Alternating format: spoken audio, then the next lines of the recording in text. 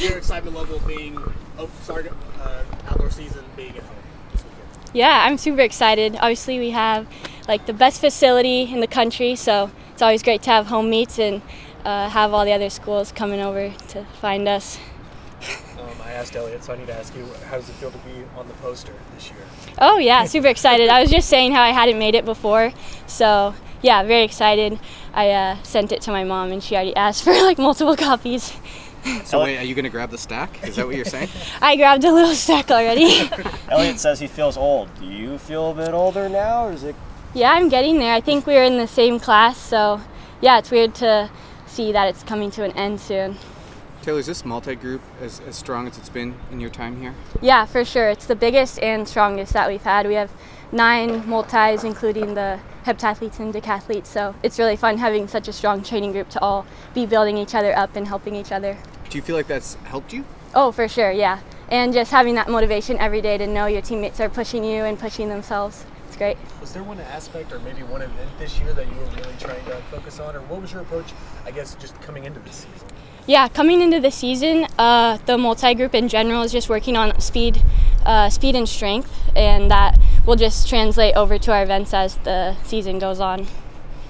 In your four years here, have you, or I guess your previous three, now four, have Yeah. you exceeded expectations for yourself that you had coming out of South? Definitely, yeah. This year I'm looking at going to the Olympic trials, so that wasn't something on my radar coming in, coming in as it being also an Olympic year. That seems so out of reach, and then for it to be a reality this year is really cool. When did that change? Um, it's just been a slow progression, and along with my teammates, we're all just slowly increasing each event, and then when you see it all come together, that's when you realize uh, how much better you're getting. Was it at all a confidence issue with you, or did you always kind of assume that if you could put in the work, put in the time, that, that this might get you to this level?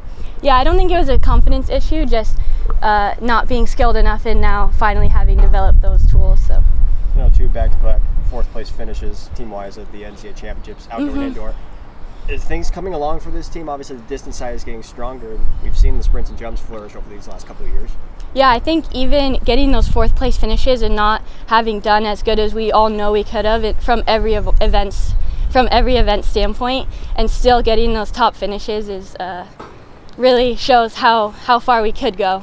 So, what is everybody taking kind of from Boston that we're competing in Boston that last weekend?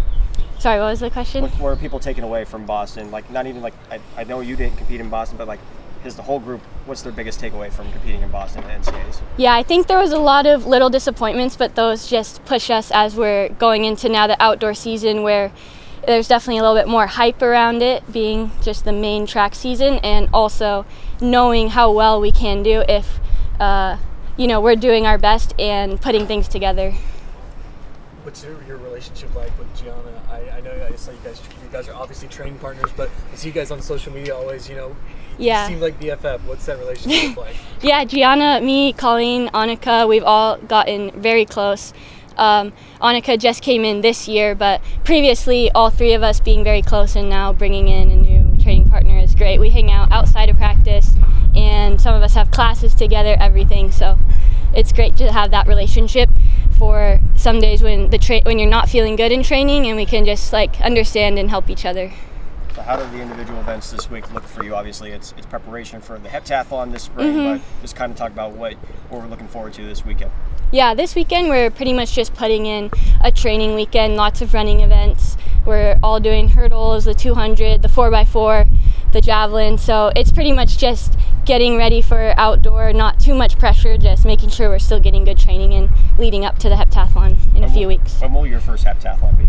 Uh, it'll be at Mount Sac. Some of us at Bryan Clay and some at Mount Sac, just depending on how it lines up.